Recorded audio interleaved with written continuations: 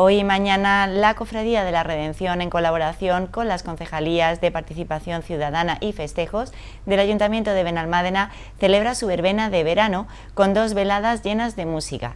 El punto de encuentro es la plaza de Pueblo Sol, donde se ha instalado una barra con precios populares y atracciones para los más pequeños.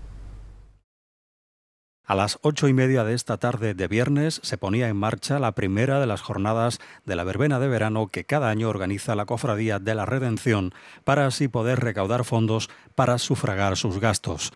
En la céntrica plaza de Pueblo Sol, en Arroyo de la Miel, no solo los más pequeños podrán disfrutar de este encuentro que contiene actividades dedicadas a ellos como el castillo hinchable. También hay para todas las edades. Aquellos que quieran aprovechar el buen tiempo y pasar una noche al fresco con buena música tendrán la ocasión de oír en la jornada de hoy viernes 4 de agosto a Marina Quintana, ganadora en categoría de adultos del tercer certamen Cantemos, evento solidario organizado para recaudar fondos para la Asociación de Familiares de Enfermos de Alzheimer y otras demencias de Benalmádena y el grupo flamenco Querencia. Para mañana sábado a la misma hora la cita será con la banda Sordos Anónimos y Antonio García.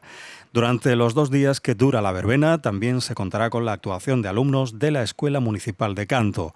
Además, la Cofradía de la Redención ha dispuesto una barra con precios populares donde poder cenar o tomar cócteles tranquilamente mientras se contemplan las actuaciones.